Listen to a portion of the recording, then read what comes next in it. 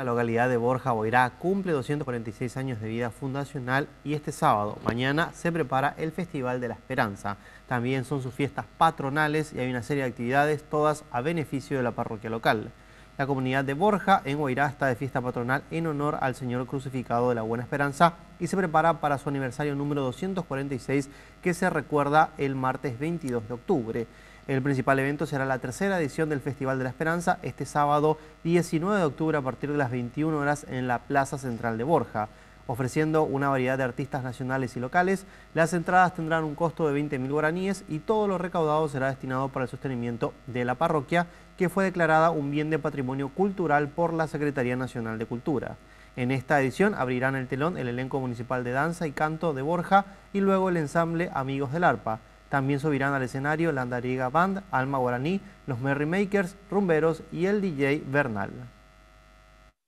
La invitación está hecha para todos los borgeños eh, de otro distrito, de otros departamentos y también la comunidad borgeña que, están en Ciudad del Este, en Encarnación, en Asunción, que es el momento oportuno para pasar, para encontrarnos primero en familia y pasar un buen rato con los amigos, eh, es compañero de escuela, colegio, como así también a los padres y madres de familia para que puedan disfrutar de esta hermosa naturaleza y eh, ver y eh, transmitir esa alegría con los, con los distintos grupos.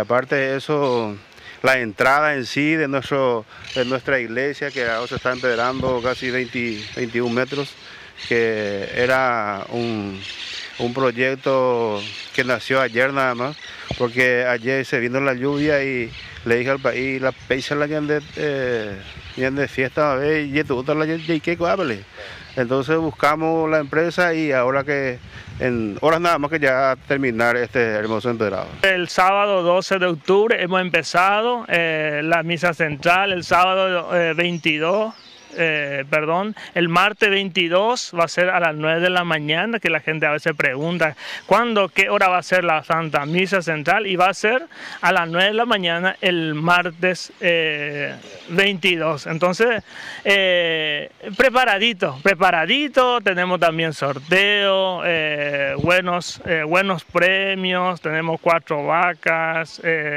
tenemos también platita y 60 premios en realidad que la gente ya, ya, ya hay en, la, en las comunidades distribuidas las boletas. ¿Todo lo que se genera va a ser para el sostenimiento de la parroquia?